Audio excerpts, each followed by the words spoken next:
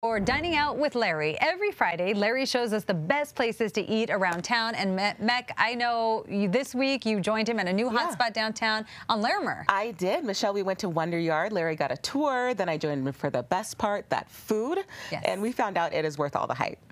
How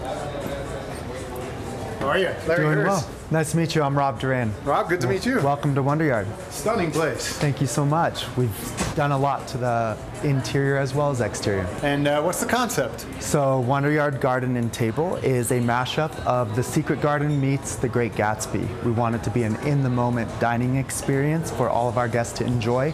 High quality, local ingredients, high caliber food and beverage. So tell me, what are we sitting on? What is this? What's going on over here? So right here, we've got our the ability to capture a moment here at Wonderyard. So everything is here so that people can experience the ambiance, the environment, the food and beverage, but this allows you to capture a moment and forever savor it. You're talking my language. This is all about the gram. Absolutely, all about the gram.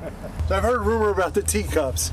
Can you set me straight? Absolutely. The rumor is true. Our teacups, we found the person who designed the ones at Disneyland, and the same person designed them specifically for us. Only difference, ours don't spin. Let's try. Pardon me, ma'am. Is this seat taken? By all means, sit down, Larry. Let's I mean, go. Can you spare a bite? I absolutely can. We have a huge table full of stuff. What is everything? Can you kind of break down what all this stuff is? Let's start with drinks. Okay. Okay. They gave you a mocktail. Got, yes, because you know you're on air in a, in a, uh-huh. little bit. Yes. This is called a one of a kind. Okay. And proceeds of this cocktail go to local charity.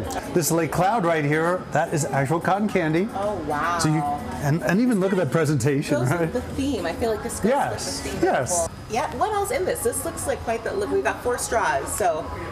I feel like we should.